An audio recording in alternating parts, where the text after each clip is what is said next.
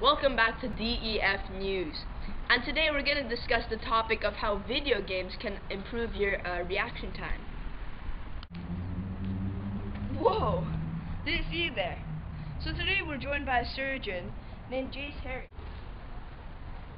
Hi, so I am a professional surgeon at the campus of UCLA. In my spare times, I, in spare time, I play video games such as Call of Duty, Fortnite, and CS:GO. So, Mr. Haring, inform us as to what why you are here. So, pretty much, I'm here to tell you how being a fe- fellow surgeon like myself, um, that plays video games, um, has a better reaction time while performing their surgery. So, Mr. Haring, uh, can you show me an example?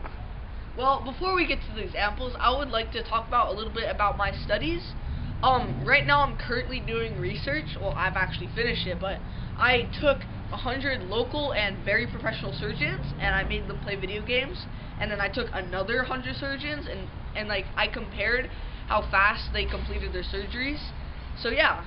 Mr. Haring, how do those video games help you? Well, pretty much when I'm performing my surgeries, they help me react faster so the patient doesn't die. So, do other surgeons use this technique? They do. Across 10 trials, all of the surgeons performed significantly better after they warmed up while playing after they warmed up while playing video games. Thank you for being on our show, Mr. Haring. Any day, Bill. Any day.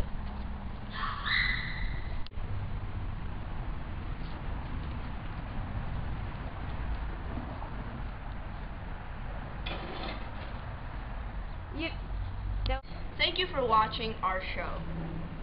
To see more, go to defnews.com or click. Uh, never mind. Thank you and bye. No animals were harmed in the making of this video.